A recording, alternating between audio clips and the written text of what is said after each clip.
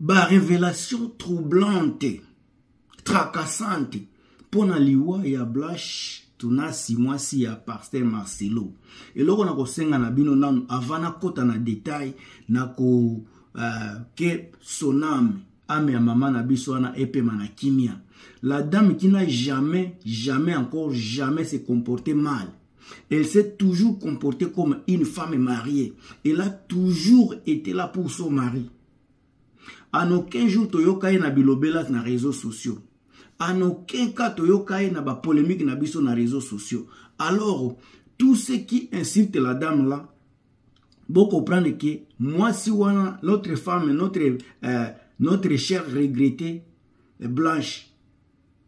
aza mwasi ya pasteur me aza pasteur te soki marcelo aza na makambo na ya bakisi soki aza motu ya baloge me mama oyo aza na makambo wana te la dame esi ela toujours elle, elle n'a jamais été euh, na bareseau sociaux kutu koyoka bavoice ba, ba, ba na yo toyokaka yango te apart na liwa na ye nde tobandi koyoka bavoix ba, ba na ye ndenge aza koteya ndenge aza kosolola mama oyo aza moto ya polemiki te alors to akompagne nano molimo na ye na place ya kimia to akompagne molimo na ye na kimia ekende kofanda mpe na kimia ata soki boyoki makambo ebele ye la personne ya diane ya, ya, ya, ya blanche aza mwasi ya pasteur aza pasteur te mama wana ye atikala soki atikala jamais kosala polemiki totika ye na makambo oyo soki tokoatake mutu to atake nde pasteur marcelo soki tolingi koatake pasteur marcelo to atake ye totika nanu mutu oyo epuis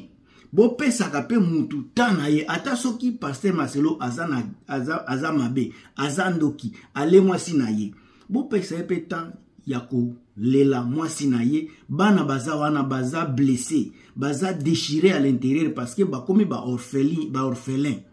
mama wana asalaki moye nyonso agere famille na ye akamba bana na ye bien soki lelo aza te communauté bino bamama surtout bozalaki bato ya kolakisa mawa ndenge nini bana wana bakozala ndenge nini bakose comporte me bino boza wana sika bobandi deja koatake bobandi deja kofinga bobandi kofinga esali bien me mutu oyo aza akufi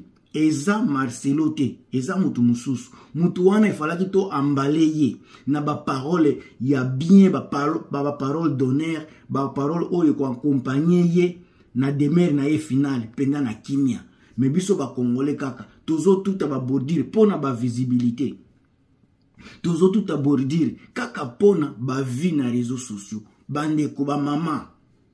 bozala mpe na bomoto mama wana atiki bana soki bino nde botiki bana ekozala ndenge nini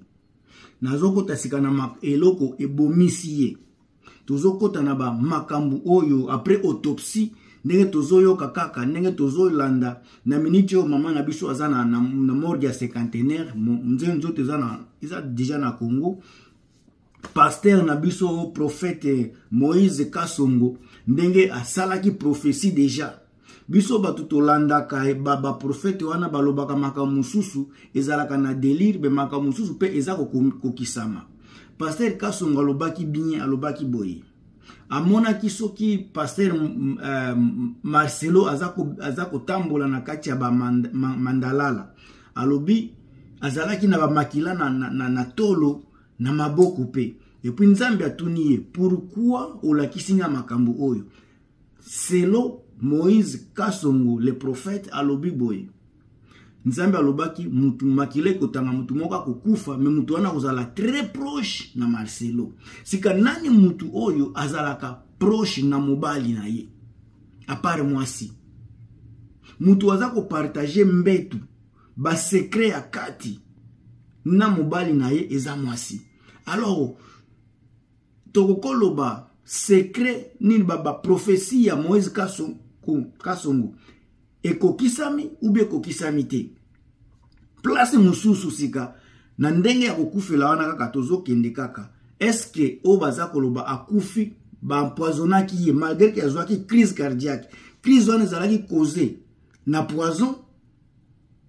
nini nde esali eske bamisu baza koloba azalaka azalaka azalaka une femme malheureuse yango basusi batashe ememi ye kuna na ndenge tozomonela baimage na ye eske aza na image ya susi moto ya bapression moto ya badepression toyebi te bato ya esengo bato les gens qui sont content également les gens heureux bakwayaka mpe na nini natation parceke eza esifi kaka gute moko ya makila ekota na batiyo oyo ezosima e, e, e, esengeli te moto akoki kopike crise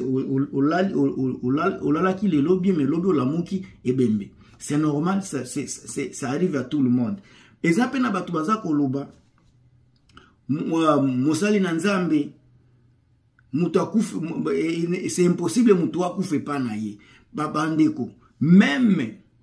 jésus camarade propre ya jésus camarade intime ya jésus oyo tobengaka lazare akufa jésus alela ameka kosekwisa ye me moto yango asila mpe kokufa kaka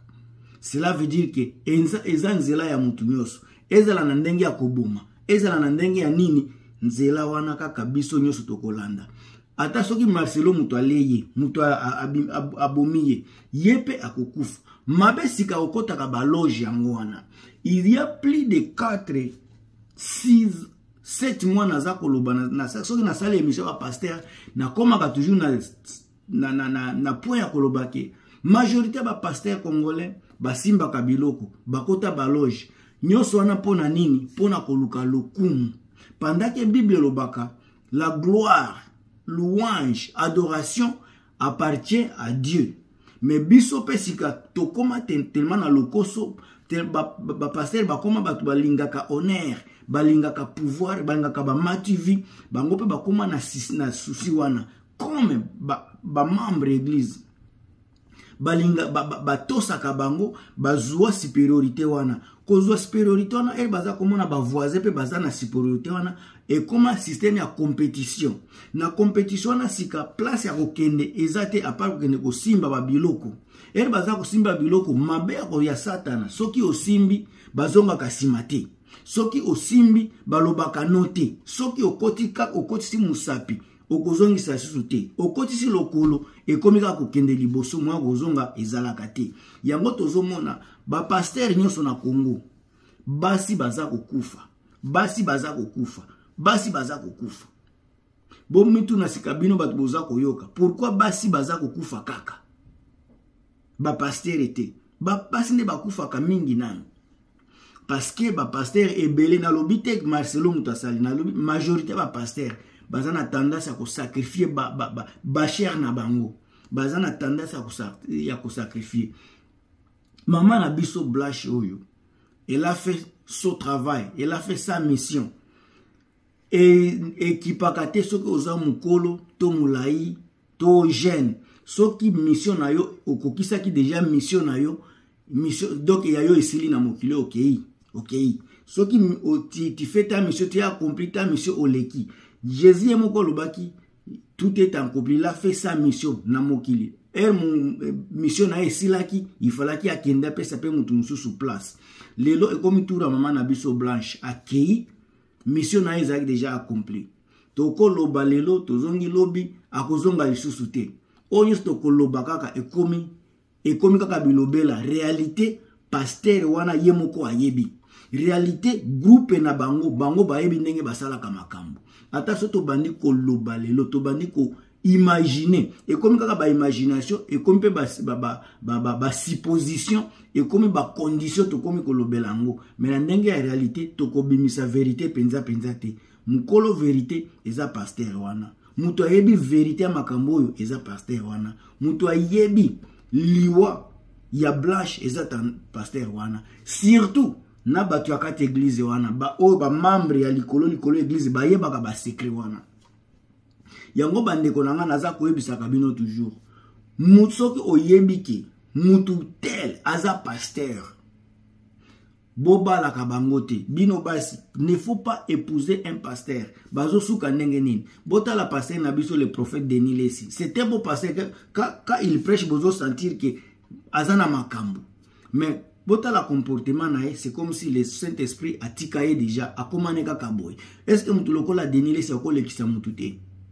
ndenge alobaka bilobelani na bainternet est ce que akolekisa motu te chance eza mingi na je peux me trompe mais chance eza mingi okolekisa motu mais soki tozongi na bomoto il est un beau pasteur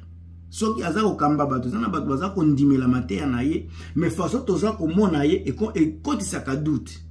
eza na bapastere mosusu mpe azolakisaki ye mprenda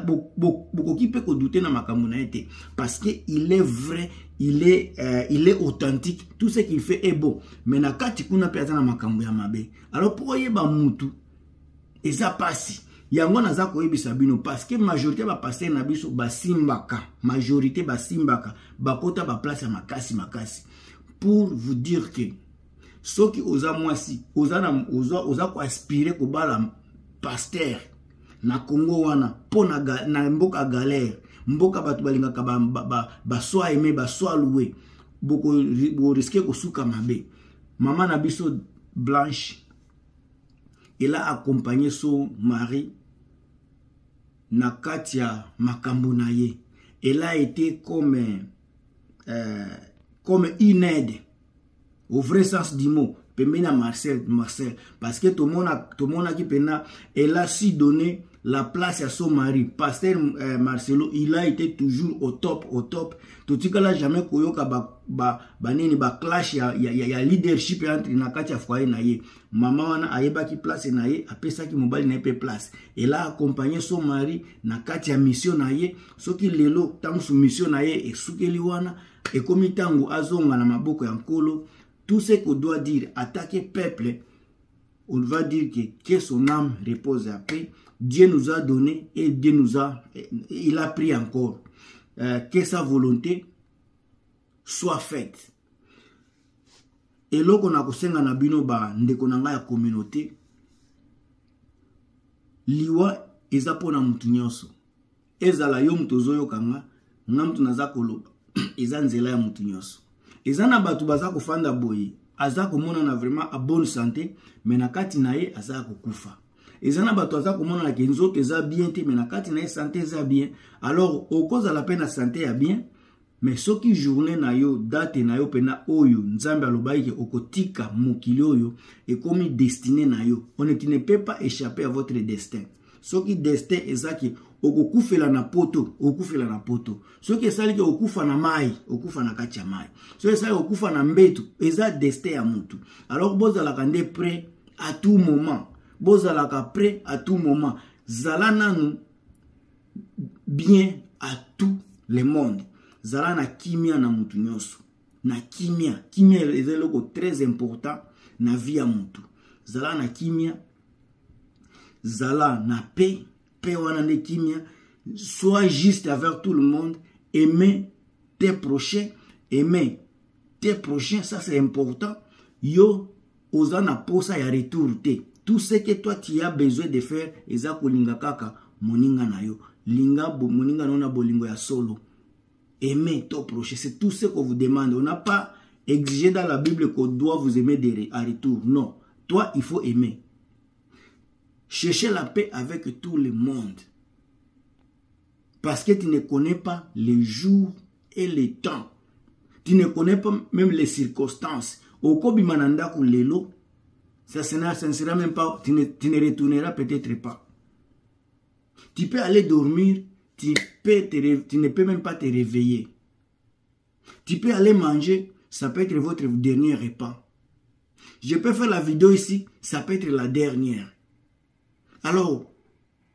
personne ne connaît le temps. Ce n'est pas parce que tu es jeune que tu peux vivre longtemps. Ce n'est pas parce que tu es vieux que tu pourras vivre longtemps. Il y a beaucoup de vieux qui sont, il y a des gens qui ont 90 ans,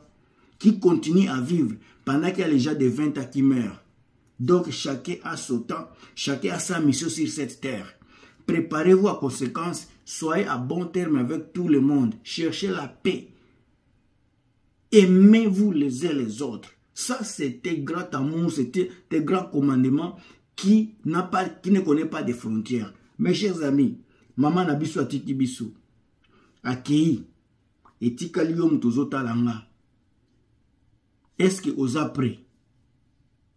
est ce que oza prêt wana nde message na ngai ya lelo bato ebele balobi ke mama na biso akufi na poison bato ebele uh, babomi ye koboma bato ebele baautopsie ba mpe ebimi ezoloba makambo mosusu bato baza koinsiste eh, mpe na makambo mosusu autopsie yango pour dire vrai nano nayoki mpenza version ya solo te parce que communauté congolaise baza na makambo ebele balobaka nga moto na bino gilmas je vais m'arrêter ici en tout cas on se revoit très bientôt na pièce mosusu soki bosepeli na émission botia bacommentaire soki mpe bomoni ke en tout cas bino kaka soki bonano bosabone te bosabone on se revoit à très bientôt bye bye